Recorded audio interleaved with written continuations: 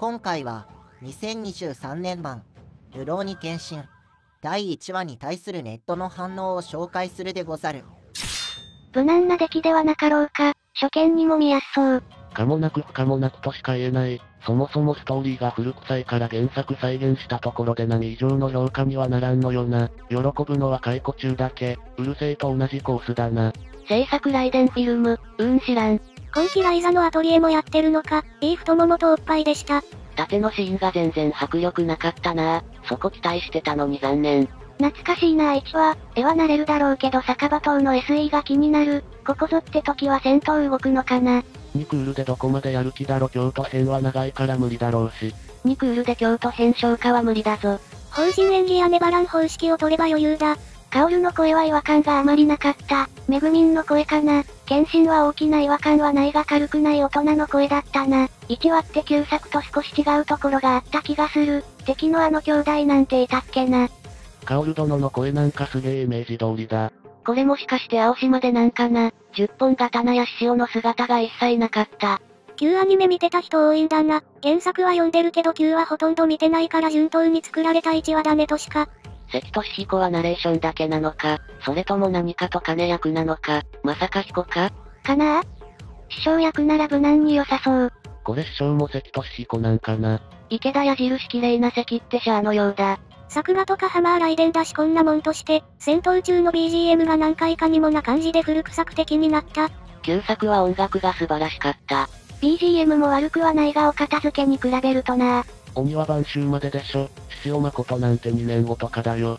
原作だと鬼は晩秋はかなり序盤獅子万事あたりはやるか微妙だけど、北海道編で吉太郎出てる白井重太先生まではやるだろう。てか謙信が京都向かうところで終わりと踏んでる。斎藤出してきたからな。京都に向かうとこで2機を匂わせてエンドじゃないか。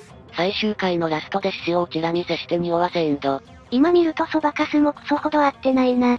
というか、あれはもうアニメと合ってない曲部門のレジェンド的存在だからな。見てきたけどオープニングエンディング合わなすぎじゃね。そばかすはネタになるけどこっちはネタにすらならない。内容はまあ許容範囲内って感じ。合ってないってだけじゃここまで長い年月すられてないからな。曲自体は名曲でミリオン売れるくらい一般層にも流行ったからこそギャップが印象に残ってるわけで。ジュディマリ最大のヒット曲になったからなとタイアップでなくアニメ専用曲として作られたキャンディキャンディみたいなアニメ想像して作ったのは有名な話。しかしなんでラップ曲なんだろうな。サビハマーってたと思うけどフンラップは合わんだろ。ボーボボ始まったかと思った。オープニング初見はクソだと思ったけど、YouTube で聞いてたらハマってきたかもしれん。原作と旧アニ飛び飛びでしか見てないからこの新作も楽しめそうだ。作画はまあまあいいと思った。何年先か知らんけど京都編は絶対見る斎藤、青し、抜刀斎の3人相手にする獅子の凄さをもう一度アニメで感じたい。助っ人で斎藤、青しが参戦する流れる路剣で一番好きや。今見たけど想像以上に良かったでござるな。いくつかのギャグシーンがカットされてたとはいえめちゃめちゃ原作に忠実だったし、オープニングエンディングもいいし美麗作画だし声優陣の演技も違和感なくぴったりハマっていたな。今録画見終わったけどエンディングは良かった。オープニングも映像は良かった。深夜枠だって最初に知った時は少し驚いたけど実際見てみたらまあそうなるよななんて気はするね。冒頭から流血シーンが多かったし。個人的には斎藤聡馬さんの声は献身に合ってるんじゃないかと感じたな。普段はやさ男ボイスだけど真剣な場面だと迫力ある声になるし、もし女性声優に献身の声担当してもらうならば斎賀美月さんあたりが候補かね献身は女性の声が良かったでござるよ。献身の声旧作の印象強すぎて違和感あるけどドラえもんやクレシンと同じですぐになれるかな。親より見たポーズ。小学生が真似するやつ。日の始め悪くないけど鈴置き始めが強すぎてな。検診は低すぎる。PV で佐野もヤバそう。演出もこのレベルならリメイクやらなくてよくね。まだアニメしてない他の作品に枠回してやれよ。鈴置さんみたいな声出せる人って今はいないな。成田県じゃダメなの？謙信の声はまあ合ってた週刊ジャンプで見てたから旧アニメの声には馴染めず視聴止めたしなカオルは昔はあんまり好きじゃなかったけど高橋さんの声も合ってて普通に可愛い斎藤はじめはセリフ数の少ないからノーコメント。謙信がアラサーなのはわかるけど顔が童顔で中性的だから女性でも合うよな。ハンターのクラッカみたいな。旧作の初期はひどかったが最後の方は良かった思い出。見直してないから昔の記憶だけど。沖田がキラヤマトじゃねえか。宗次郎もそうなのかね。長さん高木渡るとは豪華な。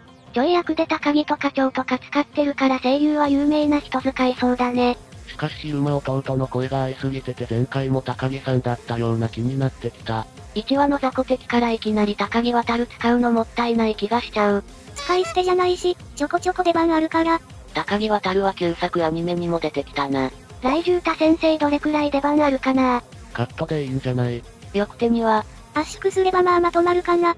なんというか昔に比べて顔が丸くなって目がちょっと小さくなったんかな今風になったよねうまく言えないけど。オープニングエンディングは特に問題なし、むしろ、そばかすが受け入れられた時代は寛容やったんやなって。90年代はアニメ本編の内容と全く関係がない曲が主題歌として使われるパターンも多かった印象あるね。スラムダンクの大黒摩季が歌ってるエンディングとか、本編と微塵も合ってなかったし。いわゆるタイアップってやつかな。高橋理恵さんの薫も良かったな。女だてらに気が強そうというか、芯が強そうな感じが薫のキャラに合ってたと思う。高橋さんはどちらかといえばひょうひょうとして捉えどころのないキャラを演じてるイメージあるけどくんみたいなキャラもいいね。オープニングエンディングは今風のおしゃれな感じの曲だなって印象。歌詞はあんまり聞いてなかったけど本編の内容とリンクしてるんだろうか。そばかすの映像だとサビ部分で鎖釜を使う謎の敵と交戦してたけど新オープニングじゃ青し及び鬼は晩秋と戦ってたな。初期の原作はジャンプ内少女漫画って言われてように絵も歌も女性的な雰囲気があったけどそういう繊細さは感じないな。オープニング賛否両論ありそうだけど俺はすごく好きだわ。うるせえ奴らは世代じゃなかったけどルローニケンシンはめっちゃ見てたから、久しぶりの実家感湧いてる。技名は叫ばないんだな。今時はその方がいいか。そもそも原作からしてこの時はまだ技名叫んだりしてないからな。技名を言うようになるのはもう少し先だな。多分5話か6話くらいか。今時のアニメにしては縦の演出が作画カロリー控えめで期待外れ。雑魚相手にもったいないでござる。佐藤健の方が動いてた。確かに、実写の方が動いてるじゃんか。これ言われるアニメ版相当珍しい気がする。どんなオープニングだったらみんな満足したんだろう。旧作の影響あるからこれっていうのはないけど明治見学ロマンタンでラップはないってっていうのはある。甲賀忍法帳みたいなはロックで、新オープニングに関してはよしあし以前にラップアレルギーなだけだと思うけども。アニメは基本的に映像を凝らないとラップ合わないからな。まあ明治なんだからはロックぐらいが妥当だと思うわ。悪いというほどじゃない、良いアクション回がどこかであればいいなって感じ。旧作検診も好きだったけど新作の方も落ち着いた感じの喋りがいい感じ。戦闘シーンで張った声出すときは旧新全然違う感じになりそう。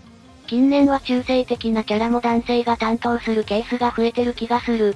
京都編は単純に出来がいいし旧作で動きまくりだったわけでもないからよほど変なことしない限り見れる内容になると思うただ声優というか演出でどうなるか。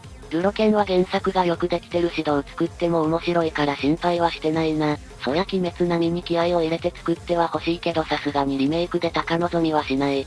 主要人物絡むとこ以外は全部すっ飛ばしそうだな。3話で佐之助来そう。ルローニケンシンリメイク版に対する反応。いかがでしたでしょうか？やはり、声優は旧作版と比較する声が多かった。個人的にカオル殿は問題なしで謙信と斎藤はそのうち慣れると思う。作画に関しては初回だし悪くないと思う。